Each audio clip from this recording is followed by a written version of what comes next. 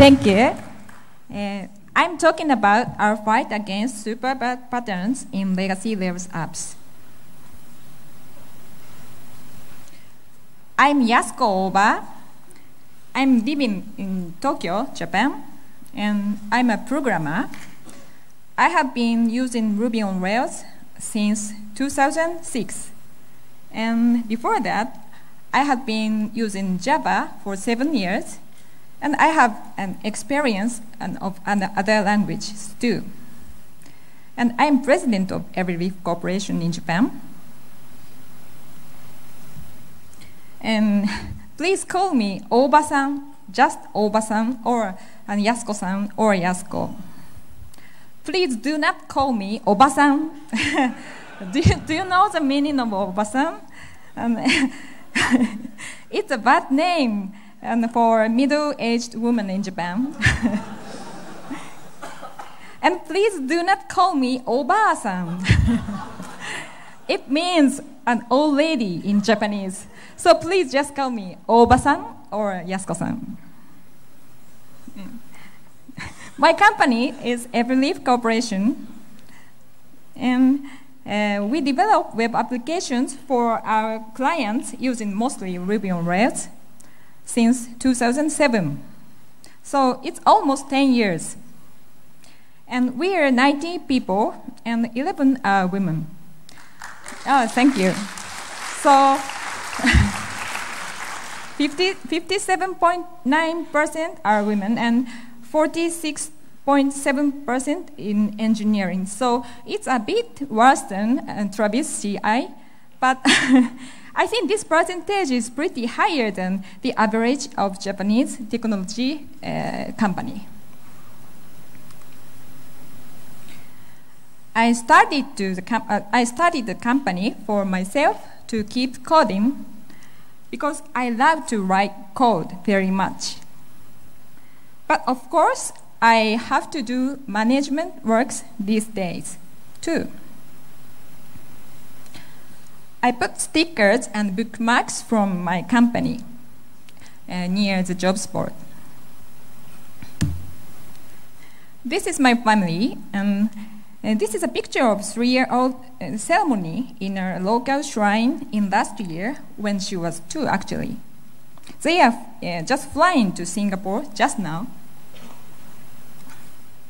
And my hobby is karuta, I suppose uh, nearly no one knows about karuta. Uh, this picture is uh, from the movie of Chihayafuru in Japan, which is kind of popular manga in Japan. And karuta is a game that the reader reads the uh, poem and the player takes the read card, a red card, as fast as one can. And we have products for that in both iPhone and Android. Uh, there is an English name, the 100 Japanese poems, and here I can uh, demo.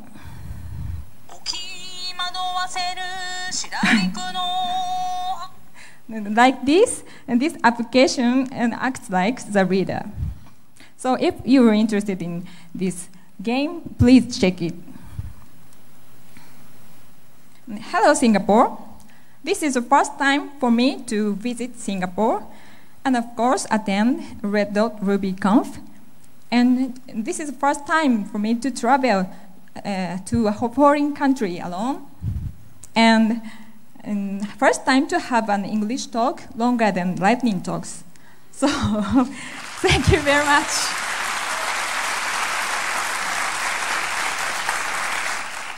I'm really happy to be here as a speaker and thank you so much. And this is a big adventure for me. Caution. I might say a or ma instead of bell, so please replace in your brain. and I might say 10 instead of point for numbers. Sorry about that. And uh, I have a lot of slides here, so maybe it might be a busy talk. Sorry. Okay. and the outline, I, the outline of my talk is here. I'm talking about two topics. The first topic is what we generally have to do to upgrade Ruby and Rails in legacy applications. And the second is introduction of four super bad patterns we found. Okay, let's start from Ruby and Rails migration. When I use the word migration, it means upgrading, upgrading, not the um, Rails migration of active record.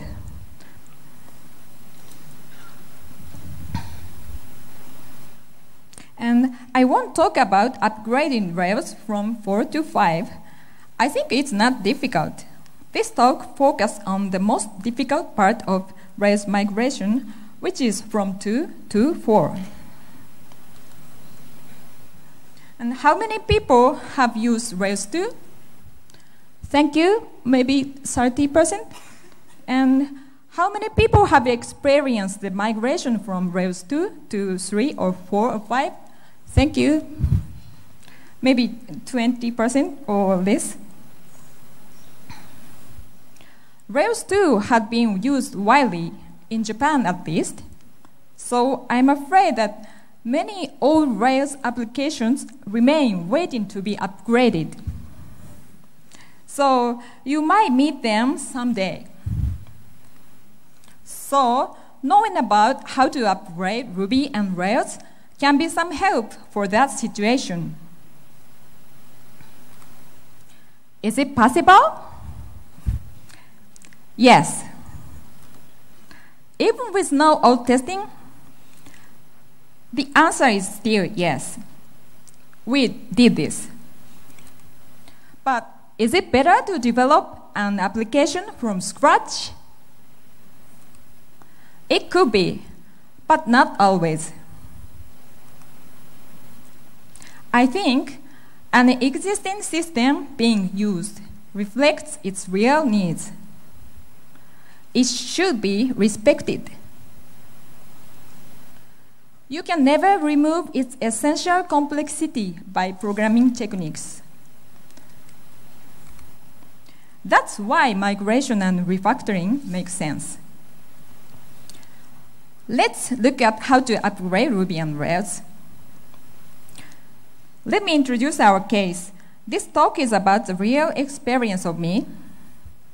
Our application is kind of health check service, B2B, and it had been handed over to our company from the other development company which originally developed the system.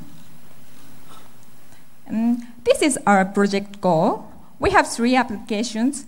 App 1 is for administration, App 2 is for end users, and App 3 is also for end users, but it, it's for English users. And App 1 and App 2 is using Rails 2.3.5 and Ruby 1.8.7. And App 3 is using Rails 3. And we need to uh, draw it away from Radiant CMS and up uh, draw App 2 away from Radiant CMS because it was uh, developed as a extension of Radiant CMS. It's not that simple Rails application. And, and after that, uh, we need to upgrade to Rails 4.2.1 and Ruby 2.1 and merge the app 3 to app 2. And then we can do refactoring ancient code. And we need to add many new features. The total schedule was like this. We did this from August in 2014 to May 2015. It took 11 months. And there are three companies um, working around here.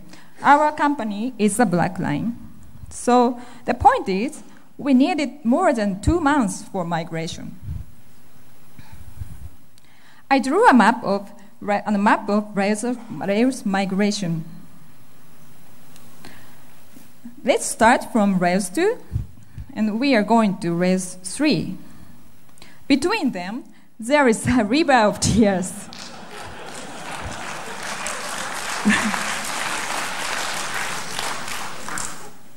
Okay, then and we are going to Rails 3.1. Uh, between them, there are the mountains of modern Rails. And you can easily move to Rails 3.2. And please say goodbye to Ruby 1.8.7 here. And to go to Rails 4, there is a strong parameters false.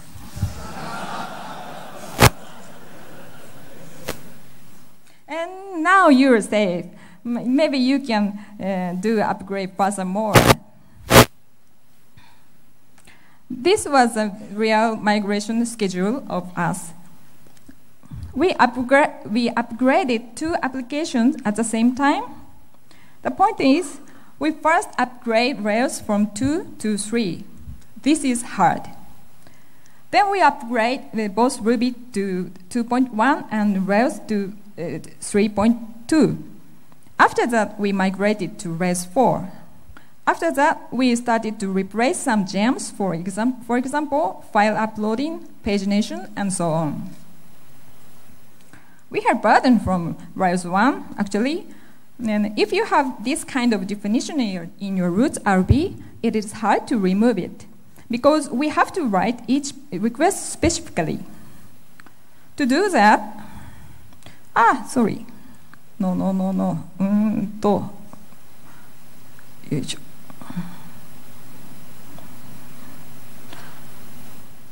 sorry.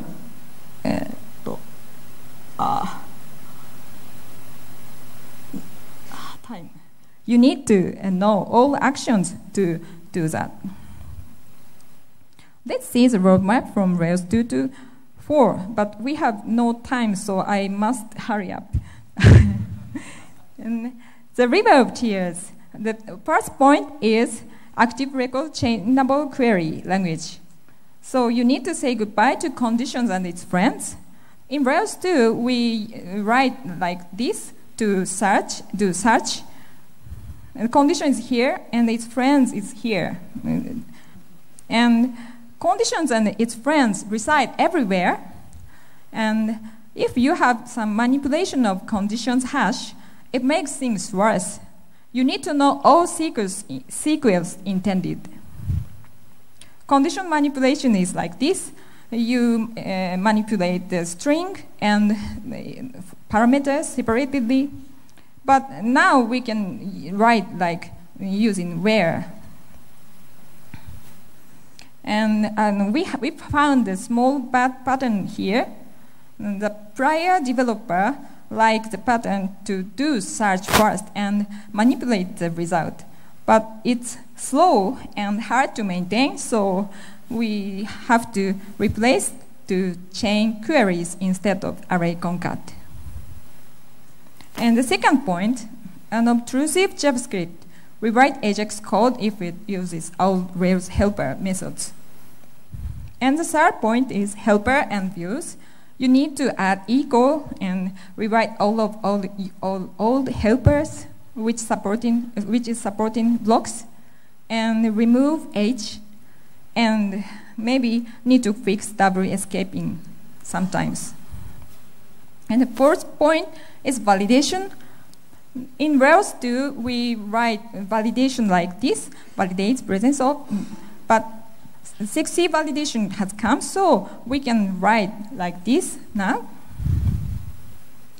And the other point, you can write your routes.rb much simpler, and you can use bundler. And there's a good point about commands. In Rails 2, uh, if you type Rails my app, it means Rails new my app. And you can uh, type Rails C or Rails C in after Rails 3, but in Rails 2, it was different. And what happens if you run Rails C in Rails 2 environment? So we don't have to create applications named C or CS anymore. I used to create C or CS applications twice in a day when, when I go back from Rails 3 to Rails 2. It was very confusing. Okay, go to the next step. We are in, Rails 3, and we have to go over the mountains of modern Rails. The first point is asset pipeline, and, and move files and configure settings, and redesign CSS and JS file structures, and, good, and it's a good timing to use SCSS, so on, and it takes much time. And you need to know all about all asset files ideally. And the second point is default JS library is changed to be jQuery from Prototype prototype.js. So you need to rewrite JavaScript code if you are going to switch the library. Okay, then you can move to Rails 3.2. It's easy, and you can, now you can use pluck and unique for distinct code. And uh, how about upgrading Ruby? Um, I think it's quite easy. You just need to care about string encoding and hash things. Okay, almost done. We are in Rails 3.2. Then the strong parameters false. Uh, security check went to controller from model. So you need to remove attr_protected or other accessible from your models and add parameters, uh, add parameters check in your controllers. I love string, uh, strong, sorry, string, no, no, no, st strong parameters because um, it's very flexible and readable. But uh, adding you know, parameter checks and adding strong, and supporting strong parameters is really hard and boring job. You need to know all parameters for all actions. And others, um, maybe you want to use Haml and replace, and of course you need to replace many gems and rewrite monkey patching in config initializers. And maybe you need to care about time zones. Gems. You need to replace gems through the Rails migration generally. I think in modern Rails, such as Rails 4 or 5, this is the main job of migration. It, it's getting much easier. Congratulations! Welcome to Rails 4 or 5. So, how to upgrade Rails from 2? Conclusion. It's not only Rails update. You need to ch change so many places. For that, you need to know you need to know well about your app um, you need to know about all actions to remove default routing, routing and all parameters of each actions for applying strong parameters strictly. And, and uh, um, you know, yeah, sorry, you need to know about right looks of all pages to fix helpers and escaping and problems. And you need to know all seekers to replace conditions and chainable query. And you need to know all asset files for using assets pipeline effectively. And you need to know all monkey patching uh, making, for making them work in modern Rails. So it's really tough, but not impossible, step by step. By the way, why didn't we have automated, uh, why didn't we have automated tests? Because we had abandoned tests given from the prior company. So, according to the yesterday's talk, we had improved our tests, right? and those tests did not make sense at that time. What to test were really wrong and or extremely difficult to change. I know this is dangerous. However, having bad tests could be even worse than having no tests. The testing company helped us a lot, fortunately. And we had tried to write feature specs, but the old Ruby version discouraged us. We wanted to use Capybara, uh, mm, for example. this is capybara. So we decided to write many good specs after migration. After a year, we have many nice specs, happy. Okay, wh what minutes I have? All right? Thank you. And, and let's move to superbad patterning layers. Our apps had been developed by beginners of Rails coming from Java. And we found many bad patterns there. We love good patterns. So we have easy access to the good patterns. How about bad patterns? If your team is modern and nice, it's hard to find natural bad patterns if you're in your daily work. It means you might miss some chance to notice what to avoid in programming. That's I want to share these bad patterns here. In my opinion, natural bad patterns are like gold mines. In other words, I'm going to teach you to fish in cloudy swamps. Let me introduce four major bad patterns in the project. One, too many layers. Two, dreamy method. Three, global hash. Four, mass housing in one controller. One, too many layers. We have been fighting against too many classes and layers. I suppose it's familiar style in Java. And I, I like Java. it was like this. Yeah. We have many thin active record models. And we have spaghetti fat non-active record classes. And these non-active active record classes uses active record models very procedure. And of course, controller is using these classes very procedure. And typical overmatch was one-to-one -one relation models, like company, company address, company something, so on. And these models are in relation of one-to-one. -one. So maybe there is no required to separate them. And the other overmatch is facade, proxy, so on. Mm, wrong reasons to separate models, which I, um, I guess is here. They have slightly different meanings. The usage is different sometimes. And the worst one is, I would like to avoid changing existing classes for my safety.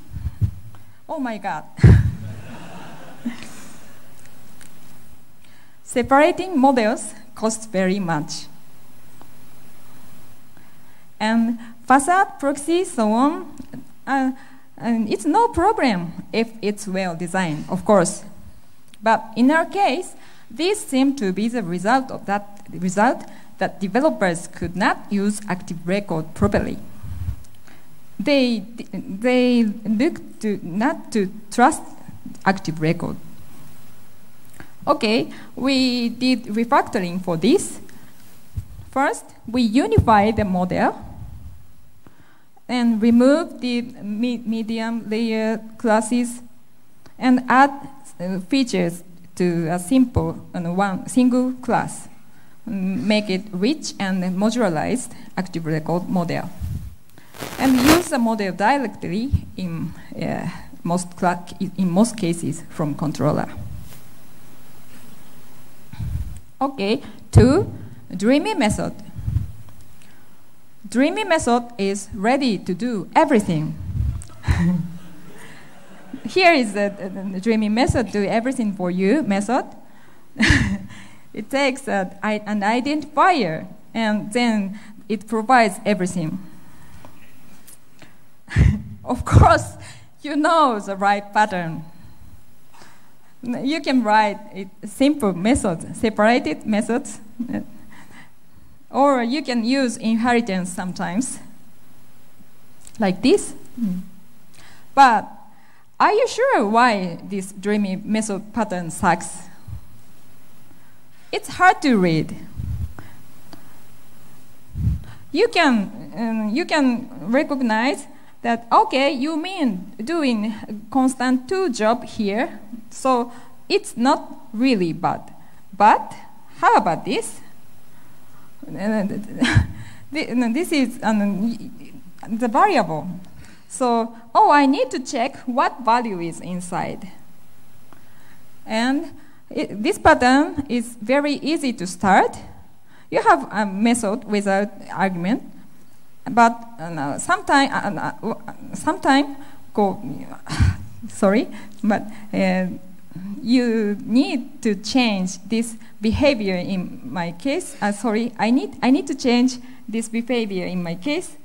So, well, let's add an argument here and add if.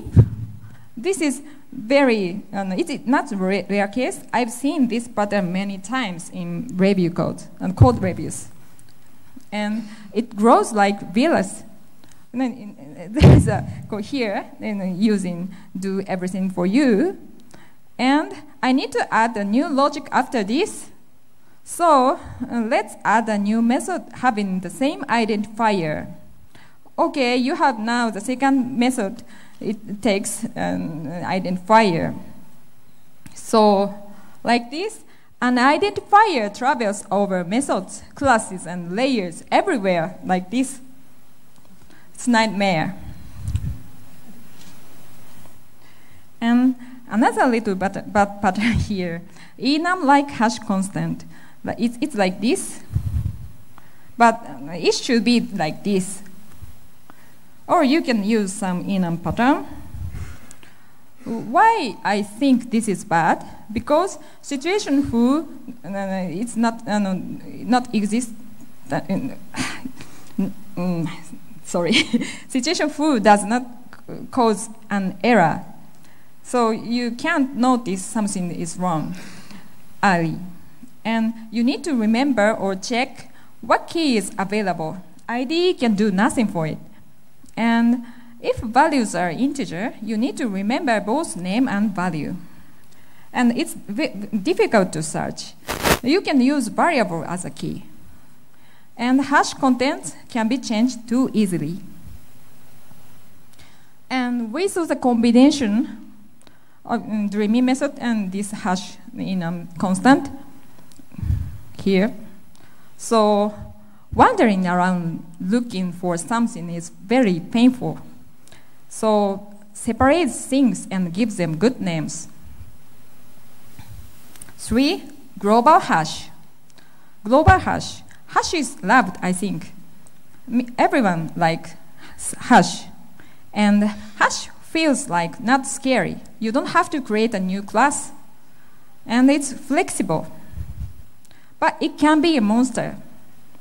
It starts like this. Okay, you are in active users controller and search action, and you receive the parameters and and it's hash. Um, sorry, it's hash, and you you use that hash to search search, or you store a session, store that in session, but it grows like this. In you you are in another controller now, and you add such similar to the pri uh, prior one, and this time you receive the search option, but it's including uh, extra options. And you want to make a searcher know this is for uh, new users, not active users.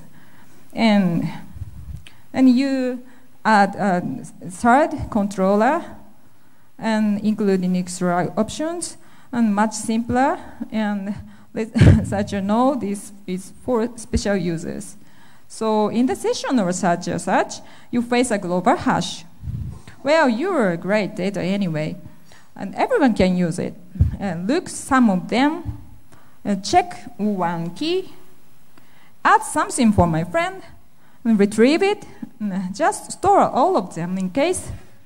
So nobody knows what contents are expected for each purpose exactly. Chaos. We had a long battle to defeat them. We replaced the part of hash to be an object by each features, like this. So the conclusion is hash is scary. It's too flexible to be used widely for human beings.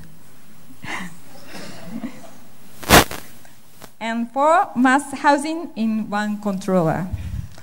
The, it, uh, the problem was like this. There are three features, but only one controller. Action provides three features. The controller code was like this, so many when, but actually it was worse than this because it was using hash and enum like hash constant. And the better design should be like this, have separated controller for each features. And you may notice but that this is a combination of two bad patterns, so dreamy method and global hash. And with mass housing in one controller pattern, it is extremely difficult to change just one feature. You need to chase the identifier not to harm other features. Okay, then what to do to avoid these bad patterns? Too many layers. Use active record if you can. Doubt one-to-one relation. Think about maintenance costs. Dreamy method. Write a different method for a different need.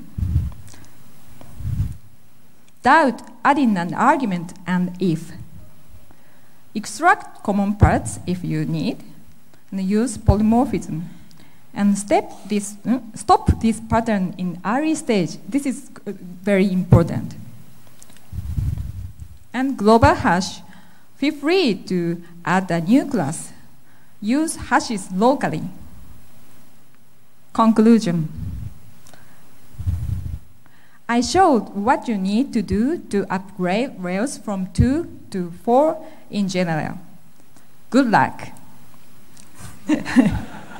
and then uh, ask me if you need.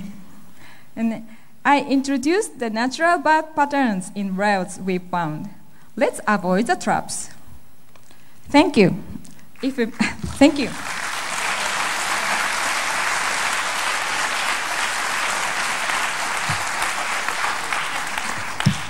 Hi, Yasuko-san. Uh, so, so Tendler was telling me yesterday actually that he he wanted to learn how to play mahjong and karuta. Yeah. So maybe you can show us how to use your app later. Yeah. So, any questions from the audience? Oh, you all gotten over the the tears and the mountains.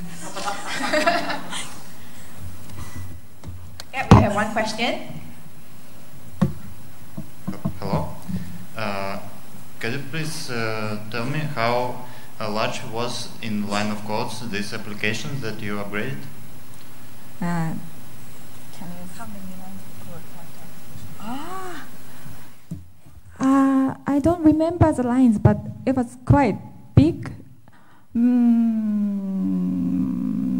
so 30, thir um, I think 30 controllers or mm, mm, for 40 models or mm, and that uh, for one application so much more?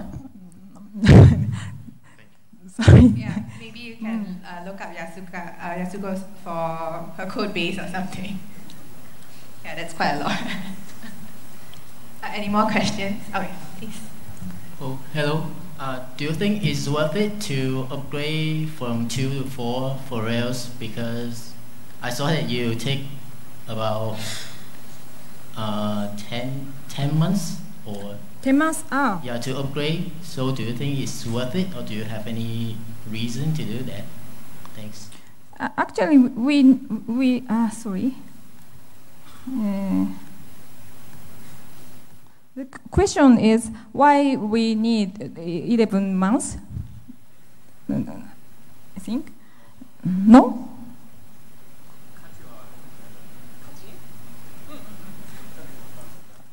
Oh, no, no, no, no. But um, weird. Uh, mm, yeah.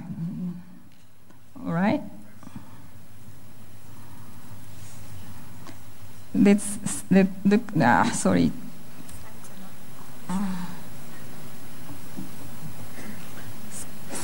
Schedules.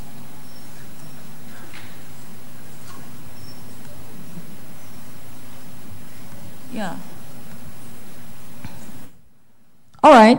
and the question is about schedules and, and the migration only month only. I'm, I'm not sure, but it took just more and less than three months, and we, uh, yeah, refactoring was very hard.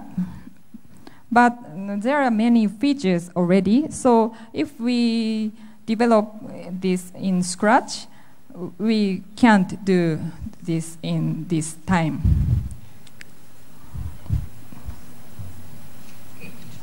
Yeah, I think uh, that answers the question. One more? I went uh, to the same pain as you, but I wonder if you uh, put in production each time you reach a step, or you did everything, then you start uh, pushing to the, in production. It, So he's asking whether you make changes and then push to production or you Hmm. make a whole change. ah, we we we changed whole things and and then released that because uh, we need for the testing companies and work so uh, it's it's easier for us. Okay, I think uh, that wraps up uh, Yasuko's talk. Thank you very Thank much, you much.